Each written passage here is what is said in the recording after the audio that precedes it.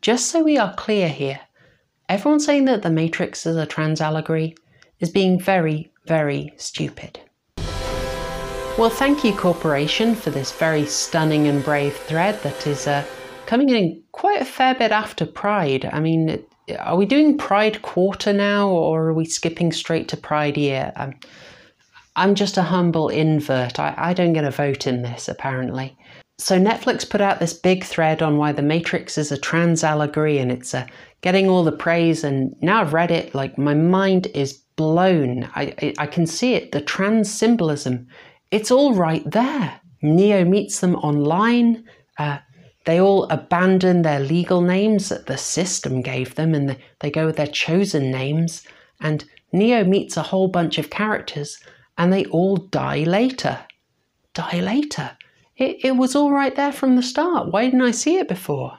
So apparently, even the trans creators of The Matrix not only approve of the reading, they intended it. They made The Matrix to be a trans allegory uh, albeit a closeted one, allegedly.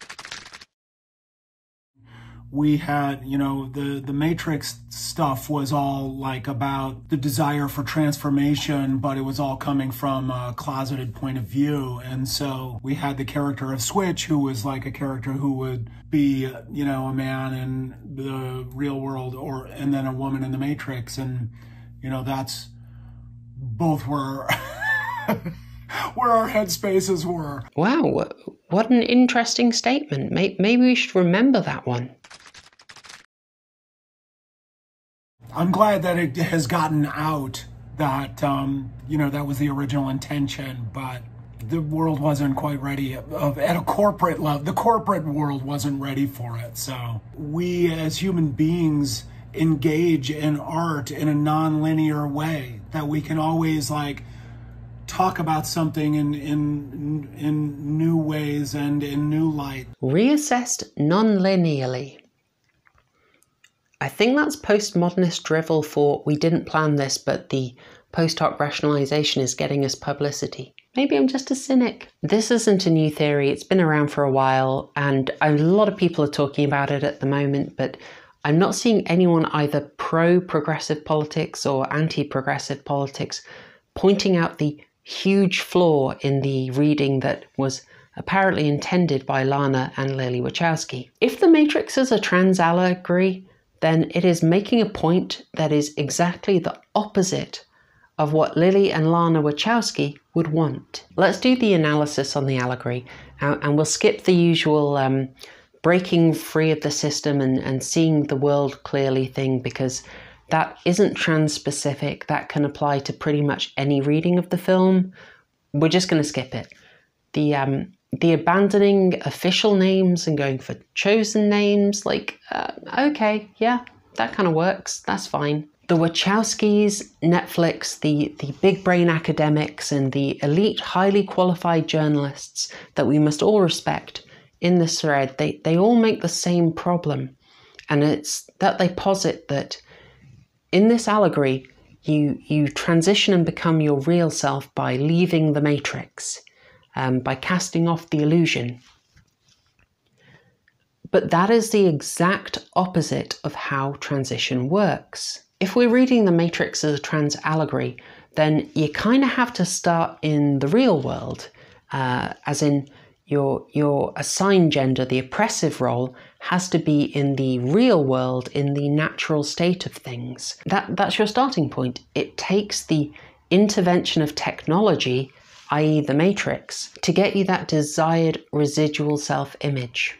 It's a gaping hole in this allegory. It's that the real world, which is supposedly the desirable place, is the harsh reality of the assigned gender that trans characters want to leave. We had the character of Switch, who was like a character who would be, you know, a man in the real world, or and then a woman in the Matrix, and you know that's both were where our headspaces were. Oh, hey, I I remember that statement. Do you remember that statement? I think I might have played it. So it's pro trans to say that Switch is really a man, is it? Huh? I mean, that is what she just said. Uh, apparently, Lana and Lilly Wachowski, trans pioneers, they identify with the character whose female form, whose female identity is fake and artificial, and who in reality, in the real world, is a grubby bloke.